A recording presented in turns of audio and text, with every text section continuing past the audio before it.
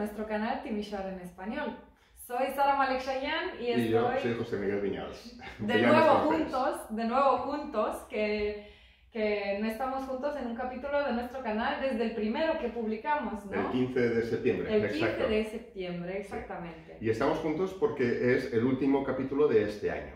Y hemos querido cerrar el año también con vosotros.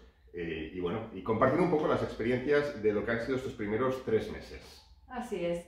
Ya sabéis cuáles son, fueron nuestros propósitos iniciales al empezar el canal y creo que hemos conseguido cambiar algunas cosas, mejorar otras y creo que así de manera general hemos conseguido cumplir nuestros objetivos hasta ahora, ¿no? Tenemos muchas ambiciones, pero bueno, el objetivo principal de todos, y ahí sí que me alegro que creo que hemos hecho algo al respecto, ha sido empezar a presentar Timisoara a, la gente que habla español, que habláis español, a través de la sociedad civil de Timisoara, a través de las personas que están trabajando, viviendo en esta ciudad y que hacen cosas que creemos que son, eh, que merecen la pena ser contadas y que las conozcáis. Más que nada porque muy a menudo la imagen que puede haber en algunos países de Rumanía es una que no tiene nada que ver con la realidad. Este país y esta ciudad en particular son muchísimo mejor de lo que la gente piensa. Así es, así que a través de la gente que hemos entrevistado hasta ahora, que han sido artistas, ¿no? Pintores, eh, escultores, empresarios, profesores y no solo, creo que hemos conseguido cumplir este, este objetivo. También hemos eh, cambiado algunas cosas en nuestra, hemos aprendido nosotros mucho, creo, ¿no? No solo de las personas que hemos entrevistado, sino también eh, de toda esta experiencia de compartir de manera virtual. Mm. Y hemos aprendido también pues, que la gente realmente con la que a la que entrevistamos, con la que hablamos, por un lado se muestran sorprendidos, no conocían la iniciativa y les, les gusta. Les gusta mucho estas entrevistas bilingües que hemos hecho en las que nosotros hablamos en español, la otra persona, si habla español, habla en español, pero si no conoce el español, eh, contesta en rumano, pero contesta bien. Mm, son- solamente en tres meses hemos tenido que traducir una única pregunta. Es decir, que no solo eh, se demuestra que en Rumanía hay mucha gente que conoce más o menos el español, sino que lo conocen bastante bien.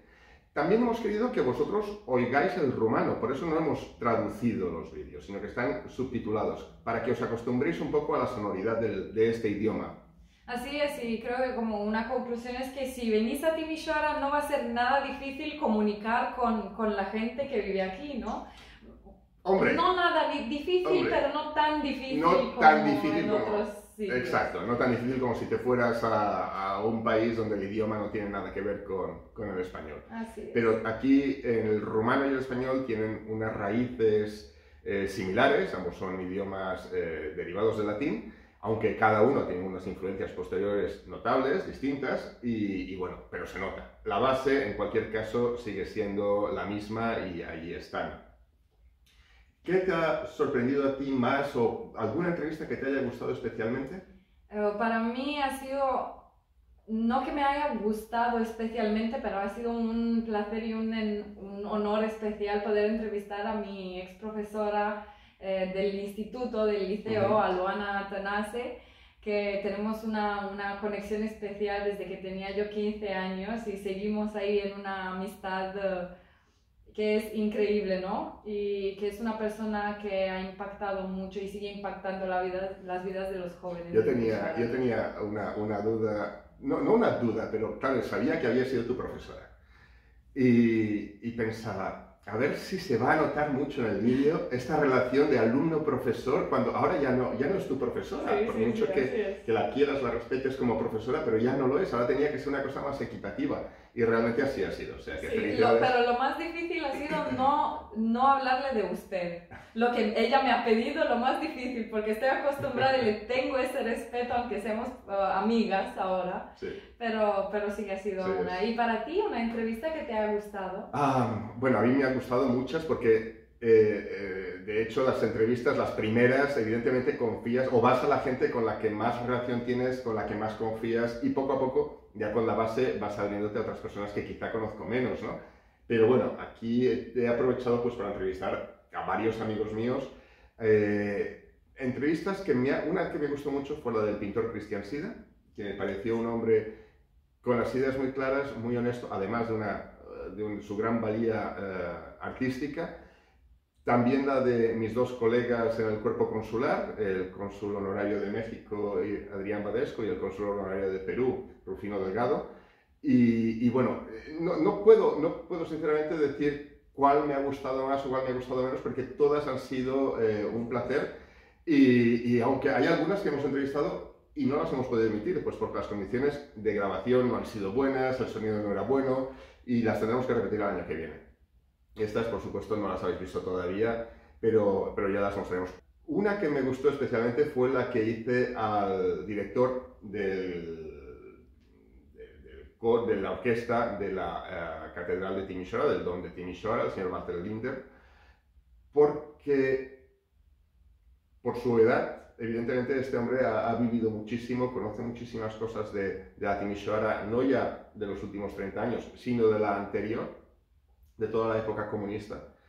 Y, a pesar de su enorme valía profesional y personal, sigue siendo un hombre extraordinariamente sencillo. Son de aquellas que realmente te resultan no sé, muy, muy especiales. Tuvimos, por desgracia, que, cortar porque hablaba, hablaba de su infancia, hablaba de su, de su vida en el pueblo, bueno, en la ciudad de Jimbolia, no lejos de Timisoara. Estuvimos casi 40 minutos grabando, eso no, era editable, pero me lo he quedado para, para los archivos. Así es, que es especial. Es especial, exactamente, es especial.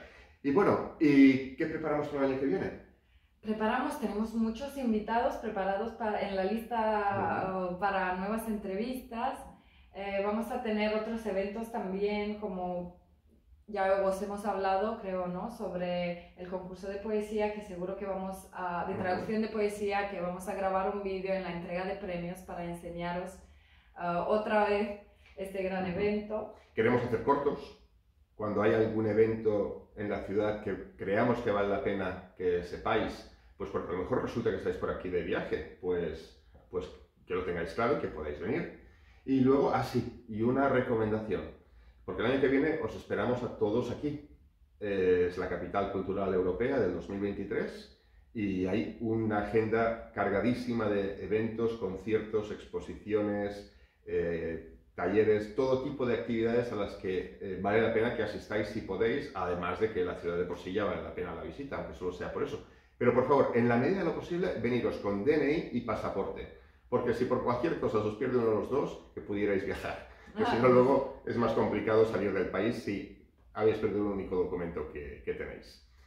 Así es. Así es. Y luego también queremos cambiar un poco la estructura del vídeo. Sí, también estamos... Uh, uh, intentando mejorar también la, la, calidad del contenido, la calidad de, de los vídeos que estamos haciendo. Estamos, como decía al principio, aprendiendo mucho, ¿no? Sí.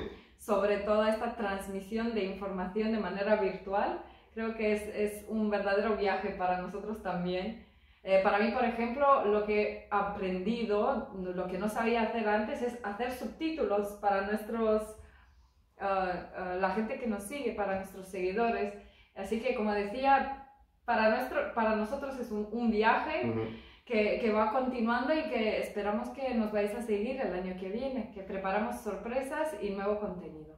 Esperamos que estéis ahí. Nosotros haremos el esfuerzo, todo el esfuerzo necesario para que, para que ofreceros la mejor calidad y que sigáis conociendo esta ciudad a través de, de los personajes que, que entrevistamos. Ah, por cierto, una anécdota muy divertida fue eh, la entrevista que le hicimos al señor, al escritor Jan Cornelius, y al cabo de unos días, este señor viajando por Colonia en Alemania me comentó que estando delante de la catedral se le acercó un chico español y le dijo que le había visto en mi vídeo.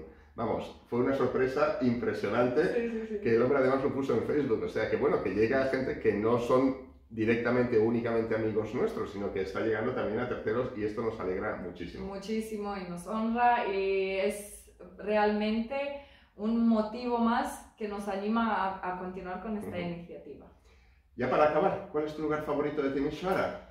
Mi lugar favorito de Timisoara creo que se ha mencionado ya muchas veces porque tenía pensado decir que es Piazza Boniri porque es realmente un, un objetivo en sí, la, la, Piazza Oniri, para gente de todas las edades y es, es muy bonita.